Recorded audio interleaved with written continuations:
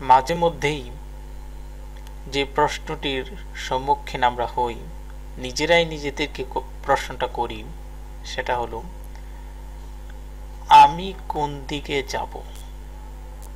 এই প্রশ্নটা আমরা আমাদের মন আমাদেরকে করে, আমরা আমাদের মনকে করি। এই প্রশ্নটা আমরা কখন করি? যখন আমরা দেখি কিছু ইসলামের লোক, কিছু লোকজন, কিছু আলেম, তারা আমাদেরকে বলছেন যে আপনারা আমাদের দিকে আসুন, আমরা হচ্ছে হক। তার একটু পরে বা কিছুদিন পরে আরেক দল লোক টুপিদারি পরাওয়ালা, লম্বা দাড়ি, জুব্বা পরে ডাকছে, আমাদের দিকে আসুন, আমরা হচ্ছি হক, আমরা আপনাকে জান্নাতের রাস্তা বাতলে দেব। এভাবে প্রত্যেকটা দল আপনাকে যখন ডাকে, তখন তারা বলে যে আমরা হক, আর হক বলেই, কোরআন হাদিসের কথা বলেই আপনাকে ডাকে। ঠিক তখন যখন আপনাকে ডান দিক থেকে ডাকছে, বাম দিক থেকে ডাকছে, সামনের দিক থেকে ডাকছে, পিছন দিক থেকে ডাকছে, সবাই কোরআন দেখিয়ে ডাকছে, হাদিস দেখিয়ে ডাকছে, তখনই আপনি আপনার মনকে বা আপনার মন আপনাকে এই কোয়েশ্চেনটি করে যে আমি কোন দিকে যাব?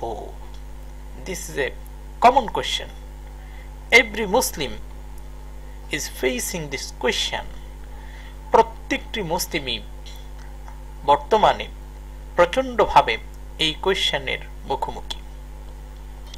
আসলে আমরা কোন দিকে যাব?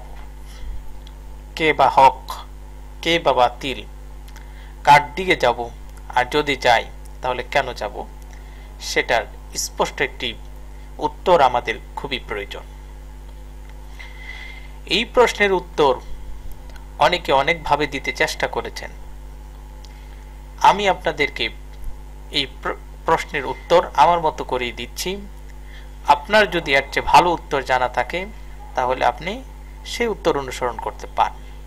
আর আমার উত্তর যদি আপনার পছন্দ হয়, সেটিও মেনে চলতে পারেন।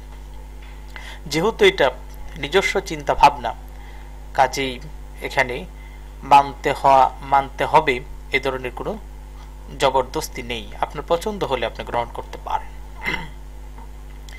আমি মনে করি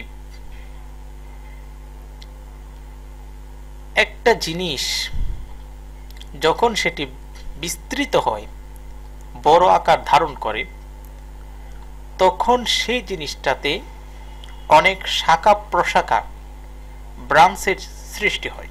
যেমন ধরুন, আপনার একটা ব্যবসা প্রতিষ্ঠান, এই প্রতিষ্ঠানটা ছোট্ট একটা প্রতিষ্ঠান, তাহলে আপনি একই শাখার মধ্যে এটাকে রাখা সম্ভব।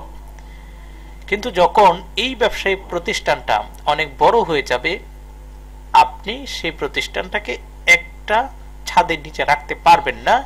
You have to open branch তখন আপনার ব্রাঞ্চ খুলতে হবে। এখন ইসলামের মধ্যে অনেক দল, অনেক গ্রুপ রয়েছে। এদের মধ্যে কিছু গ্রুপ আছেন যারা হক, হকের উপরে প্রতিষ্ঠিত আছেন। এইরকম গ্রুপ যারা তাদেরকে আমরা পজিটিভলি দেখতে পারি, যে ব্রাঞ্চের মতো করে ইসলামের বিভিন্ন শাখা হিসাবে দেখতে পারি। আর যেই গ্রুপগুলো একেবারেই বাতিলের উপরে প্রতিষ্ঠিত, সেগুলোকে আমরা কোনোভাবেই এই ব্রাঞ্চের অন্তর্ভুক্ত করতে পারি না। আর ব্রাঞ্চিং অর গ্রুপিং এটা কোনো খারাপ জিনিস নয় যদি সেটা হকের উপরে হয়। কারণ প্রত্যেকটি বড় জিনিসই শাখা প্রশাখায় বিস্তৃত থাকে। তো এখন এই গ্রুপগুলো যেগুলো হক, এগুলোর মধ্যে আবার ডাকাডাকি হচ্ছে যে আপনারা আমাদের দিকে আসুন, আমাদের দিকে আসুন, আমাদের দিকে আসুন। আমরা যাব কোন দিকে? এই ক্ষেত্রে আমি যে সলিউশন মনে করি যে এটা সলিউশন হতে পারে, সেটা হলো, দেখুন, প্রত্যেকটি গ্রুপ তারা যখন একটা দিকে যায়, যাওয়ার পরে এক ধরনের মতাদর্শ তারা দাঁড় করিয়ে ফেলে।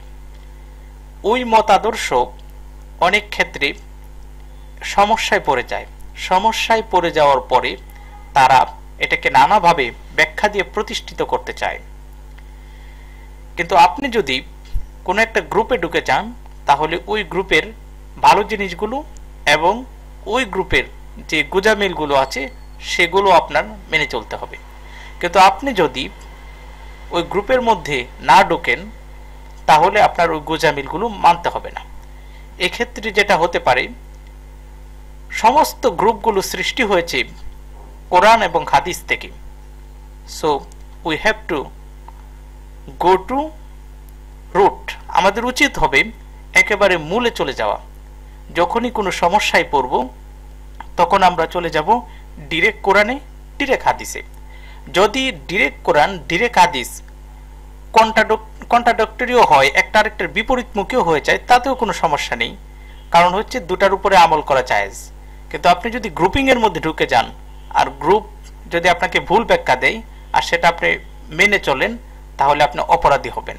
কিন্তু কোরআন হাদিসের ক্ষেত্রে যদি পরস্পর বিরোধী কথাবার্তাও থাকে, তাতেও কোনো সমস্যা নেই। আপনি একটা মানলে আপনি সব পেয়ে যাবেন গুণা হবে না। এজন্য কোনো একটা গ্রুপের দিকে ঝুঁকে পড়াটা ঠিক হবে না। আপনার উচিত হবে সমস্ত গ্রুপের কথাবার্তায় শোনা। আর যখন আপনি মানবেন বা কোনো একটা কিছু আমল করতে যাবেন, তখন অবশ্যই দেখবেন সেই বিষয়টি কোরআনে কীভাবে আছে, হাদিসে কীভাবে আছে। অর্থাৎ আমরা সমস্ত গ্রুপিং এর রুট, সমস্ত গ্রুপিং এর মূল হচ্ছে কোরআন, হাদিস। আমরা প্রথমেই দেখব কোরআন, হাদিস। আর কোনো গ্রুপের কথা শোনার আগে অবশ্যই আমরা বা মানার আগে সেটা কোরআন, হাদিসে কীভাবে আছে, কেমনে আছে সেটা দেখে তারপরে আমরা অনুসরণ করব। এভাবে যদি আমরা পালন করি, তাহলে আমি আশা করি যে এ ধরনের কোয়েশ্চেন যে আমরা কোন দিকে যাব, ডানে যাব না বামে যাব না সামনে যাব, এই নিয়ে কোনো সমস্যা হওয়ার কথা নয়। আল্লাহ পাক রব্বুল আলমিন আমাদেরকে আমল করার তো